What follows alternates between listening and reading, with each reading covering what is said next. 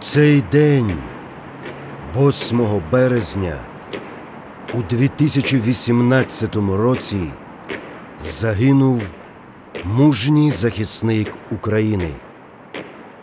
Він героїчно захищав рідну землю від російського агресора.